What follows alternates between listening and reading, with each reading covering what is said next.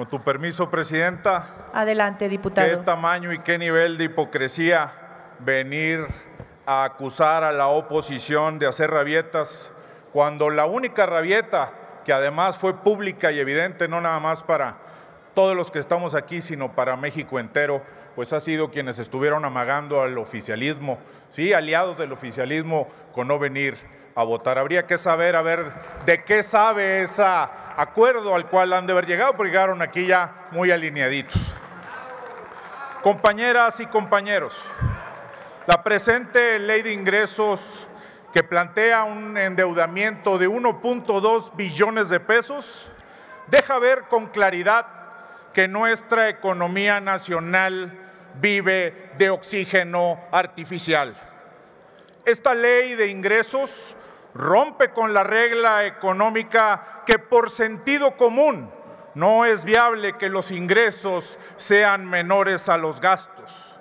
Eso llevará a una quiebra pública y con ello se gestará un armagedón financiero al final del sexenio, que por cierto lo padecerán primero aquellos a quienes ustedes dicen ser su prioridad, es decir, los más desprotegidos.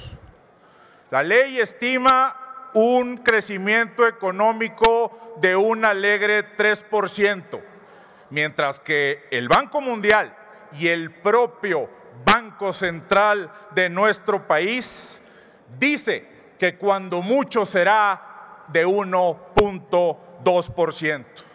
Esa errónea estimación, compañeras y compañeros, se traducirá en una mayor inflación, estancamiento de la economía, pérdida de empleos y debilitará aún más la ya de por sí mermada estabilidad de los hogares de las familias de México.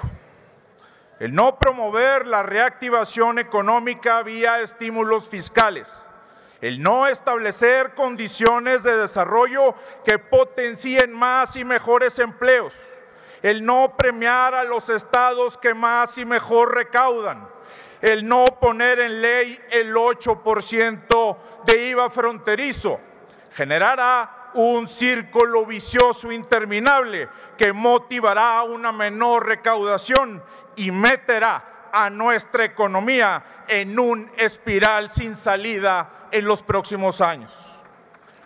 De aprobarse esta ley, volveremos a ver recortes no programados en temas esenciales de salud, de educación, de seguridad. Pero eso sí, seguramente sin tocar programas clientelares, pensando en la siguiente elección y no en la siguiente generación. Compañeros y compañeras, Habiendo voluntad, claro que sí es posible obtener recursos para impulsar el desarrollo.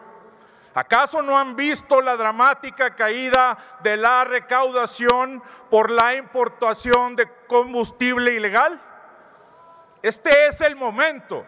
Dejen de aplicar la política del avestruz que cierra los ojos y esconde la cabeza combatan el contrabando y recuperen los más de 145 mil millones de pesos que anualmente ha dejado de percibir la, la, hacienda pública.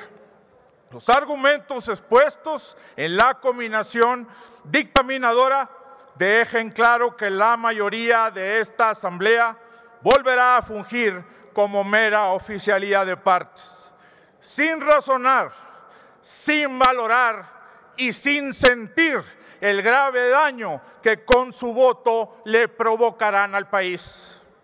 A pesar de exponer elementos fundados y motivados por los grupos parlamentarios de oposición, el oficialismo, siguiendo un guion y alejado de la razón, pretende defender lo indefendible. Por todo lo anterior, Acción Nacional votará decididamente en contra y alertamos a que valoren, razonen y consideren las reservas presentadas, que se active un urgente plan de alivio para la economía nacional, pensando en todo momento por todos y cada uno de los sectores y grupos sociales de nuestro país que también son México. Y si no lo hacen, que la historia y el país entero se los demande. Es cuanto.